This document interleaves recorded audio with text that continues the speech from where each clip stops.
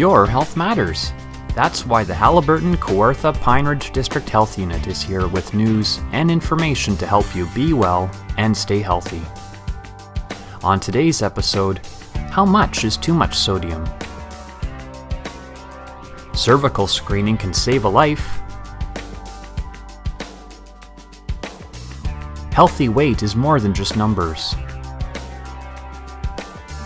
Learn why breastfed babies need vitamin D.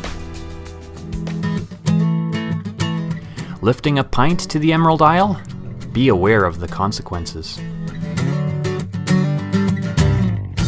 You don't have to be Irish to celebrate St. Patrick's Day. If you're planning to raise a glass, remember to be responsible with your drinking.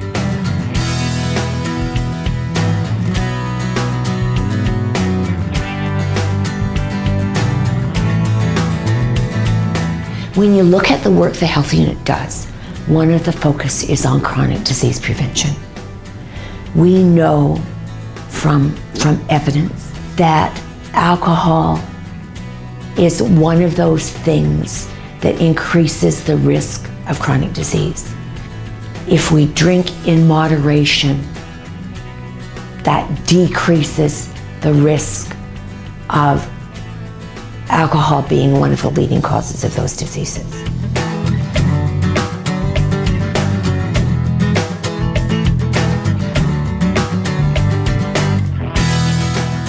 Giving people that knowledge provides them with the opportunity to monitor their own drinking and decrease their own risk for disease, while we as the health unit look at the population as a whole to decrease that risk.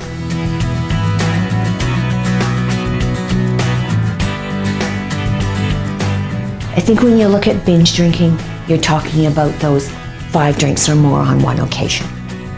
But it puts them at risk of risky behaviors, drinking and driving, sexual activity that they might not normally get involved in, and then the deadly hangover. And how do you get through the next day? How do you explain to your boss? Do you end up having to take a day without pay? There's a lot of pain that follows up with excessive drinking.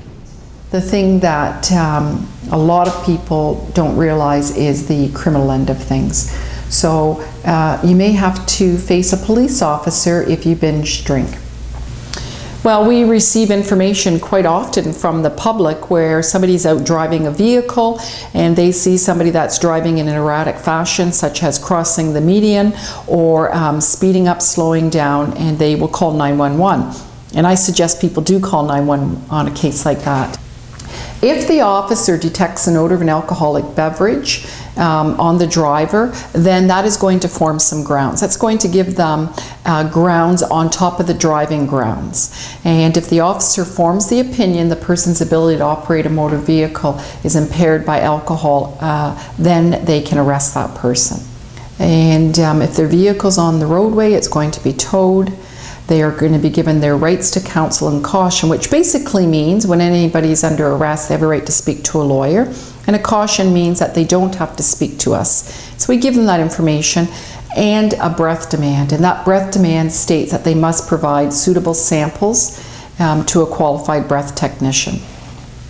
So then they come back to the station where they are booked in the cell area. They're booked in this area right here and uh, they're turned over to a breathalyzer technician. Uh, that breathalyzer technician takes specialized training and learns how to operate this instrument, which is an Intoxilyzer 8000. And what happens is the law states, the criminal law states, that um, the suspect or the accused must provide two suitable samples. If the breath reading is over 80 milligrams of alcohol, per 100 milliliters of blood, which is uh, the offense under the criminal code, then they will be charged with the offense of impaired driving and operate motor vehicle over the legal limit. They will be uh, receiving an automatic 90 day driver's license suspension. You will then, based on um, the officer in charge or the sergeant, um, be released with some paperwork which gives you a court date uh, to go to court and also to be fingerprinted. Or if you have a history of this, or if there's a concern that you still are under the influence to the point that uh, there's a safety issue, you could be housed in our cells until you're sober. So there are huge ramifications that come with that. You then have to go to court, and um, before you go to court, you come here, you're fingerprinted and photographed. Then you go up to court. If you are convicted, you now have a criminal record. What does that mean? Well, that means that um, if an employee is asking if you have a criminal record, you have to disclose that. It also means that when you want to travel abroad, they can refuse you entry into any country because of having a criminal record. There's a social stigma attached now with drinking and driving, and um, not only the criminal conviction on it, but the financial end of it is huge. You're looking at a minimum of $1,000 fine through the court system. You have to have what's called an interlocking system on your car, which is like a mini breathalyzer every time you get in the vehicle. When you get your license back, um, you also have to have that installed at your expense. You have to pay the monthly monitoring fee. Then you have to pay for it to be taken out. You have to pay to get your license back. You have to pay higher insurance rates if you can get insurance. So all of this combined, um, it's estimated that it's anywhere between $20,000 and $28,000 that you're going to be looking at.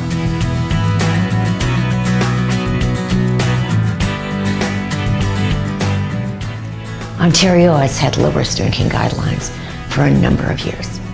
But in the fall of 2011, Canada released the first national guidelines. They talk about limiting drinks for women to one to two a day, for men up to three a day, for women, a maximum of 10 in a week. For men, a maximum of 14 in a week. We're talking about a couple of days a week with no alcohol. And we're talking about no more than four drinks on any single occasion.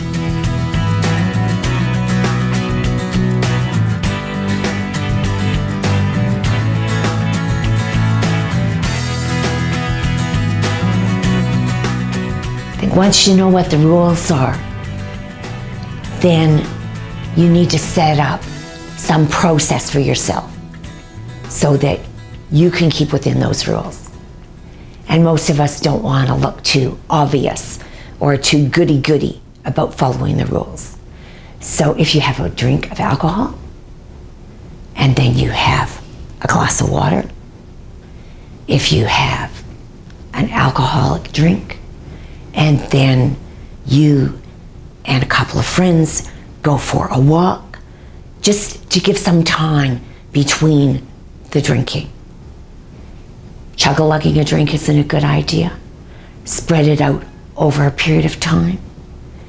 Be sure to have some food along with it. Take a look at what your day looks like. If you know you're going to be driving in two hours, then now's the time to stop drinking.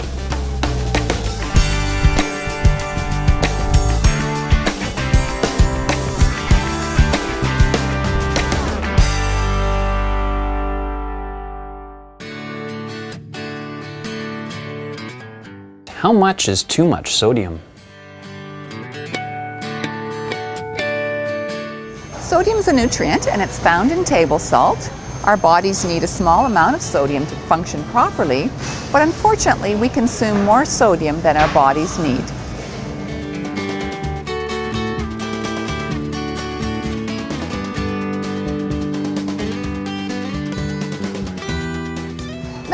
Get confused between the difference between salt and sodium. Salt is made up of two elements, which are sodium and chloride. Therefore, table salt contains sodium. So the recommended amount of sodium that we should have each day is 1500 milligrams, which represents about a half a teaspoon of salt. Unfortunately, most of us consume double that amount, which is 3,400 milligrams of sodium per day, or one and a half to two teaspoons of salt. Too much sodium can cause our bodies to retain water. This extra water in our blood vessels can cause high blood pressure. Over time, high blood pressure can lead to a stroke, heart disease, or kidney disease. A small amount of sodium is found naturally in most foods. Unfortunately, we consume 70% of our sodium from prepackaged or processed foods, where the sodium has already been added. To help reduce our sodium intake, try to look for products that have 200 milligrams of sodium or less per serving. When looking at the nutrition facts table, look at the serving size. The serving size is not necessarily the amount that we eat, it's the amount based on the nutrition facts. So let's look at how much sodium is in a frozen pizza. First, we need to look at the serving size. The serving size tells us it's one sixth of a pizza. So that means if we were to cut the whole pizza into six slices, one, one slice of pizza would have 960 milligrams of sodium.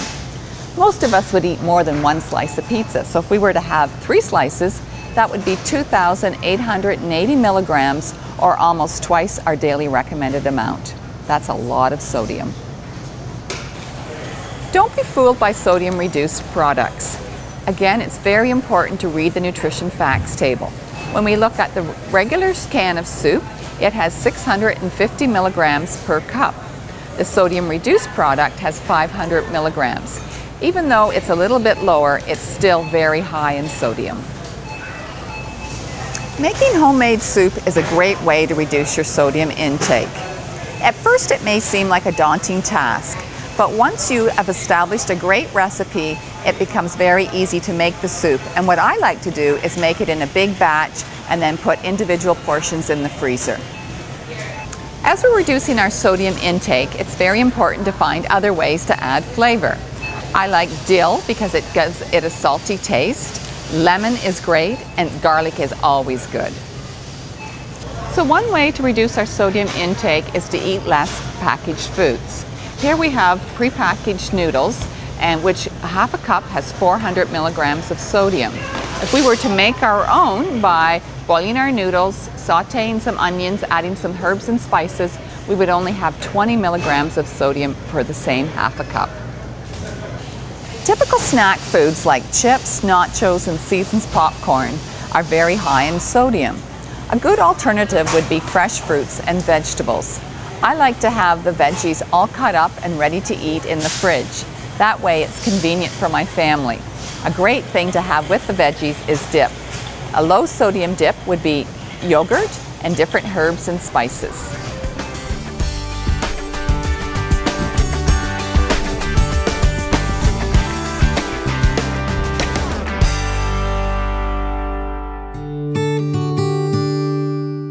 There are new guidelines for cervical screening.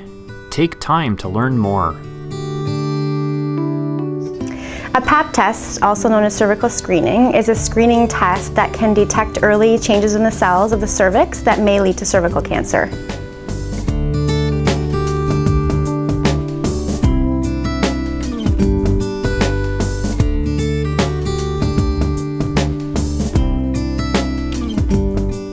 Women need cervical screening in order to detect any cell changes in the cervix early enough to undergo any treatments or procedures to prevent cervical cancer. There are currently no other te screening tests that can detect cervical cancer. The updated guidelines for cervical screening recommend that women initiate the screening or start having PAP tests at the age of 21 and then every three years after that. The recommendation for starting at the age of 21 is because cervical cancer in the age of 21 uh, is actually quite rare. And then of course if there's any abnormal results, they would need to be followed more closely, which would probably be more frequently than every three years. Something that would need to be discussed with your healthcare provider. The necessary cause of virtually all cervical cancers is an ongoing infection with high risk human papillomavirus, which we all may know of as HPV. HPV is a common infection among sexually active males and females, and a couple of risk factors for acquiring the HPV infection include a high number of sexual partners as well as initiating sexual activity at an early age. Sexual activities include intercourse as well as digital or oral sexual activity involving the genital area with a partner of either sex. Women who are not sexually active by the age of 21 should delay cervical cancer screening until they are sexually active. Women who have sex with women should also follow the same screening guidelines as women who have sex with men. Women who have um, a weakened immune system should receive annual screening. For example, women who are currently taking long-term immunosuppressants such as radiation or chemo, and those who are HIV positive. Screening may be discontinued at the age of 70 if there have been three or more negative or normal results in the previous 10 years. These guidelines do not apply to women who have previously been treated for abnormal cells in the cervix. Screening intervals should be discussed and scheduled with your healthcare provider. Pregnant women should be screened according to the guidelines. However, care should be taken not to overscreen. Pap tests during the prenatal and postnatal visit should only be conducted if the woman is due for a pap test. Women who have received the HPV vaccine should continue with regular screening.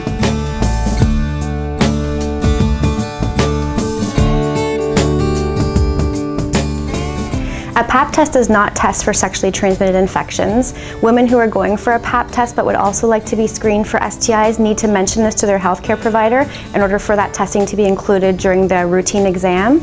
There are additional tests that can screen for STIs, such as chlamydia and gonorrhea, which can be done by urine test or genital swabs. An important message to remember is that the new cervical screening guidelines do not include STI testing. So this means that a woman can get screened for STIs at any time, whether they are aware that they've been exposed to a potential sexually transmitted infection or they're just wanting to have a checkup. Uh, they can have this testing done at any time, not every three years with the PAP test guidelines. Women can go to their regular healthcare provider for cervical screening, whether it be a doctor, nurse practitioner, or nurse, or can also visit one of our sexual health clinics in the area. Just a report, an important message is to remember that cervical screening is a test that can help to potentially save a woman's life.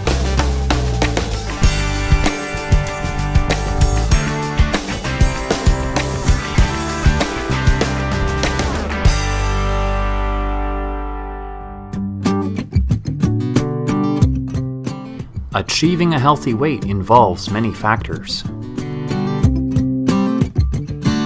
Healthy weights is not just about your BMI, it's not just a number on a chart, it's much more complex. It involves many other factors like your age, whether or not you're eating healthy, if you're being active, your physical makeup, where you work, where you live, where you play, your relationships. So many factors are involved.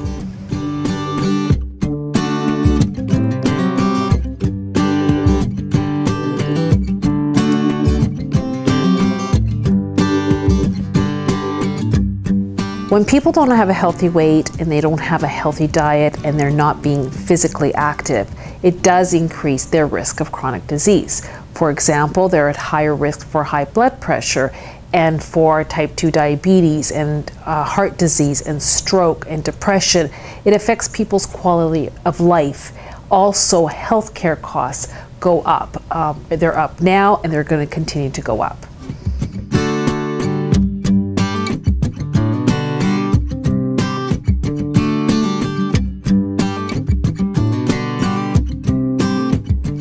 Although we're seeing that there is a decrease in healthy weights, and that may appear to be a concern, it's also an opportunity. It's an opportunity for us to talk about and to work on those underlying factors that affect unhealthy weights. Factors like education and income. Uh, we know that people who are more educated um, and have more, uh, more income to spend actually are eating healthier. Um, we also know that the cost of food has gone up. We know that to purchase a healthy, nutritious food basket, that it costs a family of four $9 more a week from 2011 to 2012. So for families who are on a fixed income, uh, low income, that's tough because they have to pay their rent, they have to pay their, their heat, um, and there's not a lot of money left over for other basics like healthy food. Another factor that, that we need to think about is access to recreation, access to physical activity. So, helping families to have more access to organized sports, to their local recreation center. Um, it's, it's also an opportunity for us to talk about walkable communities um, so people can walk and be physically active, for example. And another really important factor is poverty. Uh, we need to address local poverty because poverty not only uh, affects the quality of life of our individuals and families in our communities, but it is costing each each of us twenty-three to twenty-nine hundred dollars a year.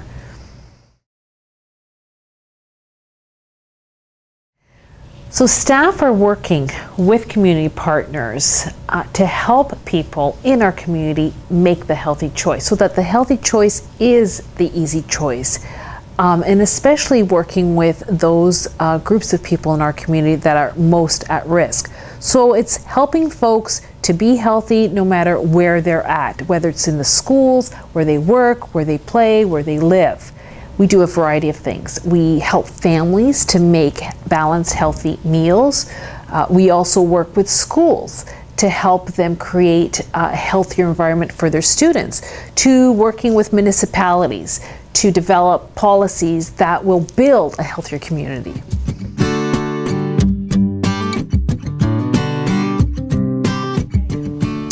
Diets don't work, nor is a change in an individual's lifestyle or behavior change enough. We need to tackle the underlying causes of unhealthy weights. And that involves making the healthy choice the easy choice. And how do we do that? By creating healthy environments and by working with our community partners to have healthy public policy.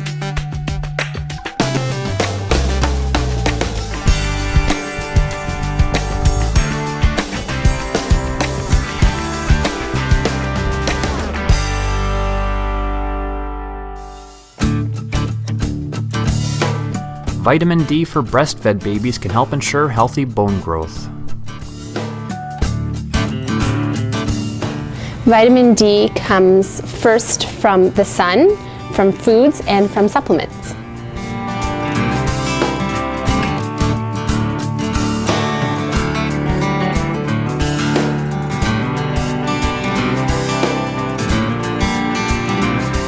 Um, all breastfed babies in Canada need a vitamin D supplement because often a mother's breast milk doesn't contain enough vitamin D. And there are many months of the year where we don't get a lot of sun exposure. And it's important too that uh, infants under the age of six months aren't um, exposed or aren't in direct sunlight and not to use sunscreen until after six months of age. If breastfed babies don't receive a vitamin D supplement, there is concern that they will develop uh, weakening bones, uh, which may lead to rickets or sometimes known as kind of a bowing of the legs. There are some babies in Canada who may have higher uh, vitamin D needs, and it's best to speak to your doctor to find out exactly which population groups might be at higher risk for vitamin D deficiency or who may need a um, higher level uh, supplement.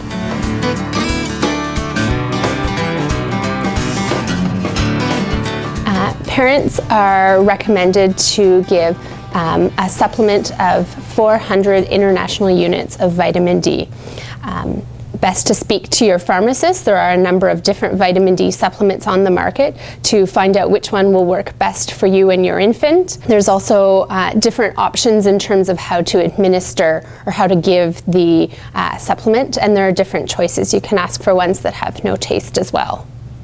The recommendation is to continue with the vitamin D supplement um, until the infant or child is uh, taking two cups of fluid milk um, and is eating a variety of foods from all four food groups. In Canada, vitamin D is fortified into fluid milk and into margarine. And there is an increasing uh, variety of foods that may come onto the market with uh, vitamin D in them. There is also uh, vitamin D in fatty fish.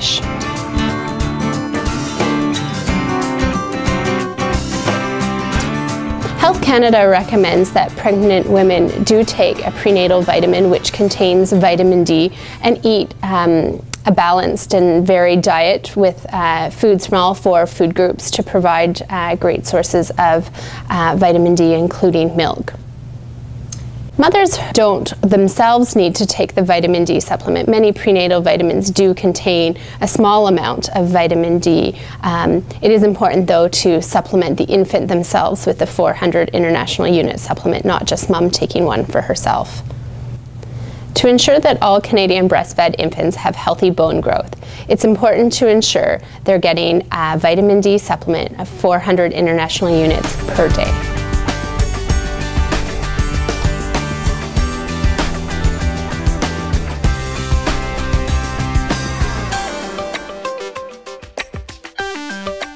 Your Health Matters is produced by the Haliburton Kawartha Pine Ridge District Health Unit. If you have questions or comments about this episode, reach us by phone, email, or online. We'd love to hear your feedback.